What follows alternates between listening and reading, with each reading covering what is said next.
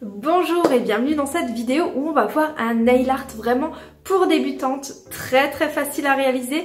Donc si vous avez peu de matériel mais que vous avez envie quand même d'avoir un nail art soigné, et eh bien cette, euh, ce nail art est fait pour vous, cette vidéo est faite pour vous.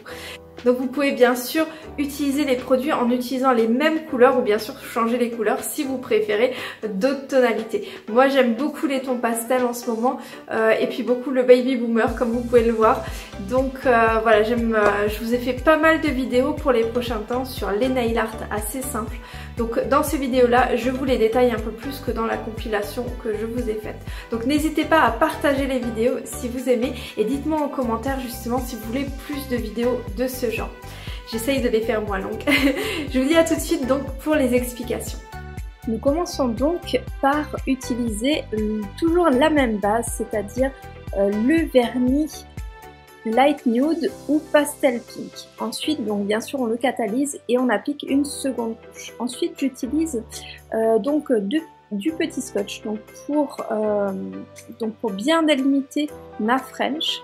Et avant de catalyser, donc je l'enlève. Donc j'utilise euh, mon pinceau pour bien l'appliquer, je l'enlève et ensuite bien sûr je catalyse. Ensuite je vais passer le Freedom Matte pour pouvoir matifier la surface puisque je trouve que c'est très élégant.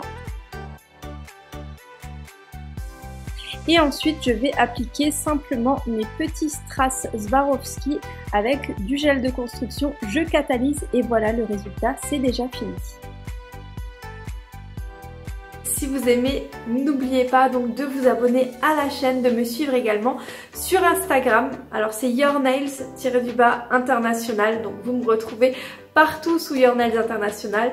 Euh, donc voilà, je serais vraiment ravie de vous voir également sur mon Instagram parce que je publie plein d'autres vidéos, des photos, des petites citations. Donc voilà, ça me ferait très plaisir de vous y voir aussi. Encore une fois, un grand merci de me suivre dans les vidéos sur cette chaîne et euh, sur Facebook. Et je vous dis à très très vite.